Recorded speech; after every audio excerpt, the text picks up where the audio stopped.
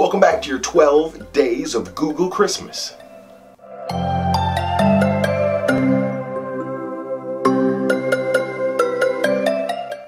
We are up to day five, working our way backwards towards Christmas of the top 12 Google searches about biblical topics. Number five is Who is God?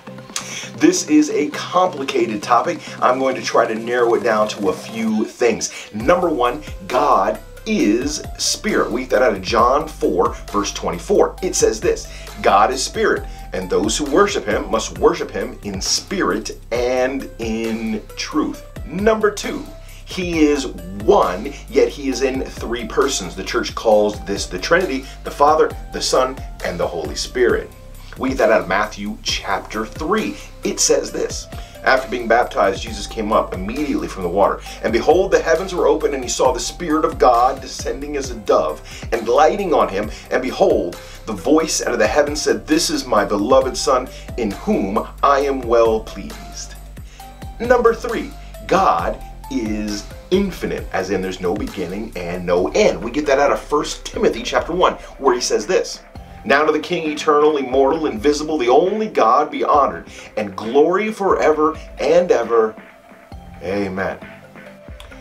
Number four, God is incomparable. Incomparable. You can't compare him to anything or anyone else. We get that out of 2 Samuel, where Samuel says this For this reason you are great, O Lord God, for there is none like you and there is no God beside you, according to all that we have heard with our ears. Number five, God exists everywhere. There's nowhere where there isn't God. We get that out of the 139th Psalm, where David says this.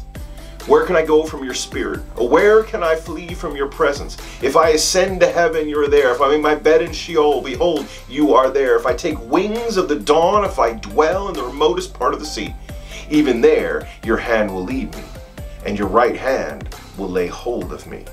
Number six, God has all power and all authority. There are actually a number of verses that talk about this. My favorite comes out of Revelation chapter 19. It says this Then I heard something like the voice of a great multitude, and the sound of many waters, and the sound of the mighty peals of thunder, saying, Hallelujah, for the Lord our God, the Almighty, reigns.